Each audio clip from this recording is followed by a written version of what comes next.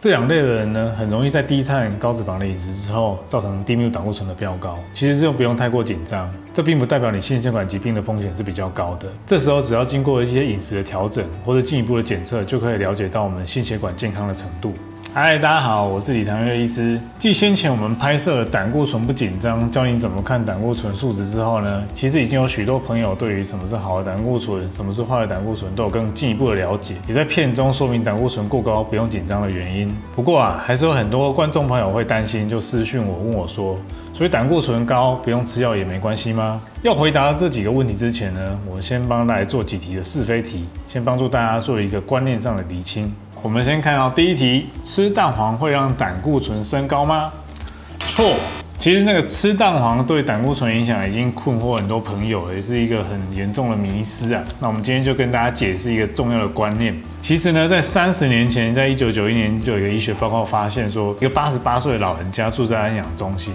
他每天居然要吃二十五颗的鸡蛋。所以他这个状况已经持续了至少有十五年的时间，那他们非常惊讶，就是帮他做抽血，做一些病史的调查，就发现他没有心血管的疾病，而且抽血胆固醇所有的数值都正常。那这时候就有研究人员去调查说，到底为什么每天吃这么多鸡蛋，结果胆固醇却没有变化呢？那研究就发现说，其实八十八岁的这个爷爷啊，他身体的特质异于常人。就等于说，他吃进去这么多的鸡蛋跟胆固醇，但是他身体本身这个胆汁酸代谢能力就跟着被提高好几倍，会把这些胆固醇代谢掉。因此，我们可以得到一个观念，就是说，就算你吃进去的胆固醇的量有多少，我们身体会有一个吸收、合成跟代谢排除的机制。你吃进去的太多，也许你就会吸收、合成减少。代谢排除就会增加，而从这个医学报告，我们就发现一件事情，其实胆固醇本身会有一个代谢排除以及吸收合成的机制。当然，这个机制是非常的复杂，我们今天就不特别去详谈。但是我们也可以知道，当你吃进去的比较多，我们身体的吸收跟合成也许就会减少，那排除跟代谢的功能就会被加强起来。所以，我们也帮大家整理一下，吃完鸡蛋之后，到底对我们胆固醇影响是怎么样？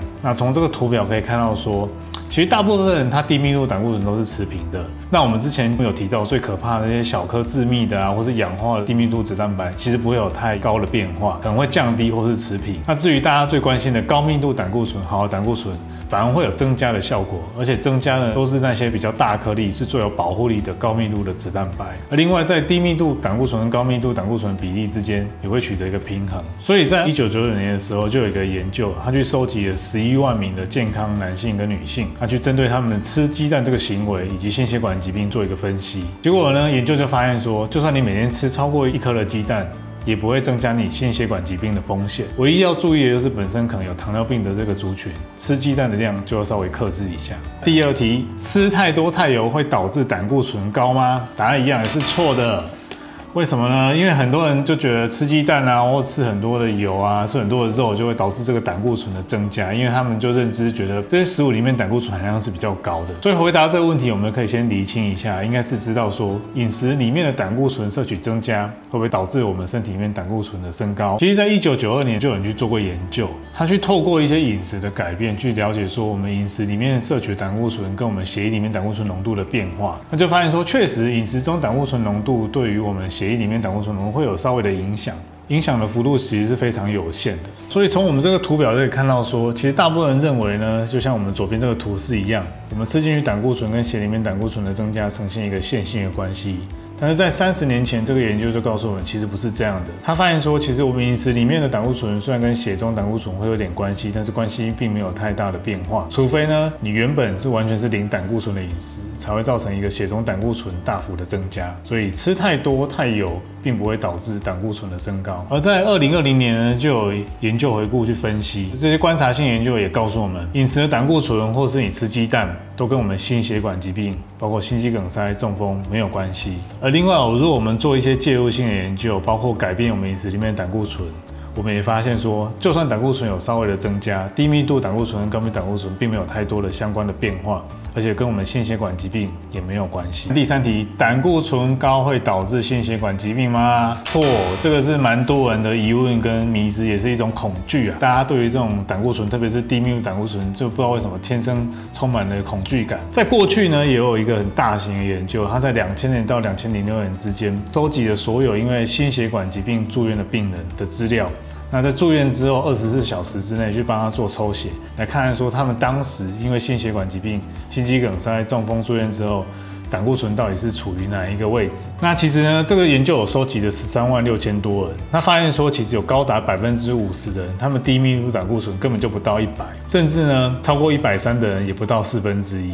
这时候就会发生一个疑问，就是如果我们觉得胆固醇高会导致心血管疾病，那为什么这些心血管疾病人住院的时候，胆固醇反而是没有偏高呢？也许也有可能别的原因受到影响。我们同时发现说，这些人的高密度胆固醇超过六十的只有百分之十以上。也许高密度胆固醇跟其他生活形态啊，或先先天的身体的条件就扮演了一定的角色。而新的研究也告诉我们，其实低密度的脂蛋白在血管里面存留太久，还是会参与一些心血管疾病的发生。主要原因是因为这些小颗致命的低密度脂蛋白。它很容易穿过我们的血管，而如果我们身体处于一个发炎或氧化压力比较高的状况之下，它就会变成氧化型的低密度脂蛋白。确实，这些氧化型的低密度脂蛋白就会吸引一些白血球啊、巨噬细胞的吞噬，形成泡沫细胞，也会影响到我们血管的弹性、血管的功能。所以，胆固醇高会导致心血管疾病，这个答案是错的。但是低密度脂蛋白在一定的状况之下，确实也会参与心血管疾病的发生。所以也有前瞻性的研究告诉我们说，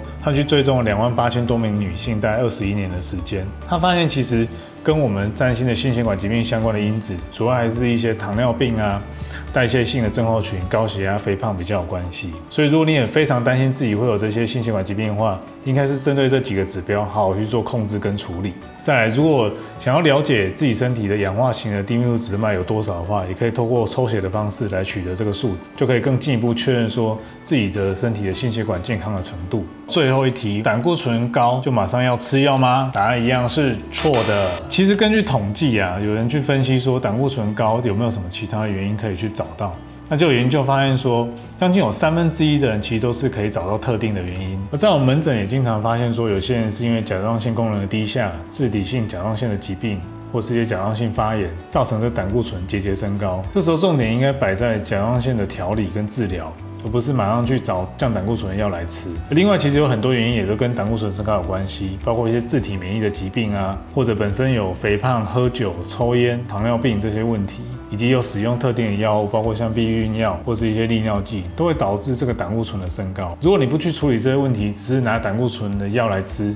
其实反而会造成身体有很多的副作用，包括像有些病人吃了之后觉得双脚很容易严重的酸痛，甚至会造成肝功能指数的异常。这时候就得不偿失，而且对我们健康是没有什么直接的效果。而再来有一类的人也是会遇到胆固醇升高的情况，像我们多朋友都在执行一个比较相对低碳高脂肪的饮食，就抽血的时候发现说低密度的胆固醇反而是节节的升高。但是这种人也不用太过紧张，因为我们发现同时高密度好的胆固醇也有增加，而且三酸甘油脂这个血脂肪也有降低。而谁比较容易变成这种高反应者呢？比较常见有两类的人，第一个是本身你 BMI 不是很高，不是严重的肥胖，再就是三酸甘油脂比上高密度胆固醇的比值是比较低的。这两类的人呢，很容易在低碳高脂肪的饮食之后，造成低密度胆固醇的飙高。其实这又不用太过紧张，这并不代表你心血管疾病的风险是比较高的。这时候只要经过一些饮食的调整或者进一步的检测，就可以了解到我们心血管健康的程度。相信呢，我们今天做完这四题的是非题，有胆固醇问题的受我们应该放心不少吧？你会发现，其实真正因为胆固醇高需要吃药的人并没有这么多。一来是胆固醇药有一些我们刚才提到的副作用，二来是比起吃药，更重要的是我们要找到原因。接着呢，李医师就帮大家整理一下，我们面对胆固醇高可能可以处理的方式。胆固醇高的时候呢，在体检报告我们可以先看一下自己高密度胆固醇的是多少。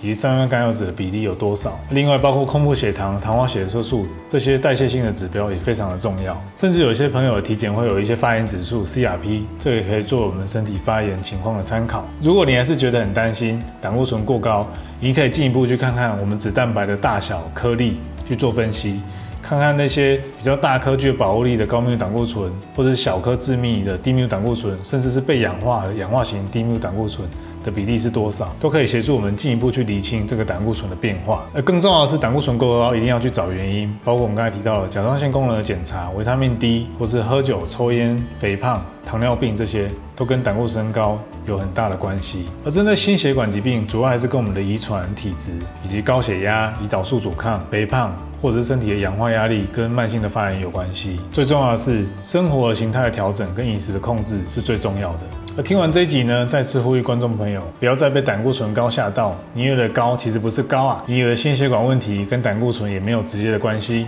感谢大家的收看，喜欢请按赞、分享跟订阅。有慢性病、减重或是血脂肪的问题，都欢迎到初日诊所来找我讨论哦。我们下集再见，拜拜。